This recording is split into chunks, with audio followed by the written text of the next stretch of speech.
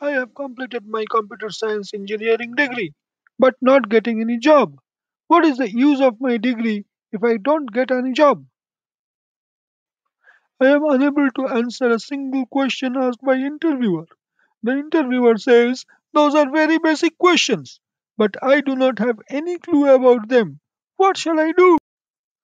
Don't be upset, Rohit. The problem is your fundamental knowledge is not clear. Please take a coaching on the fundamentals and get your foundation strong and then come back after two weeks. Hey, finally I got the right coaching from Blessed IT. I wish I knew about this organization earlier. I could save time and got the job after graduation only. Thank you. Freshers must remember that the basic foundation knowledge is very important. It is something which needs to be remembered forever, not just to clear the examination.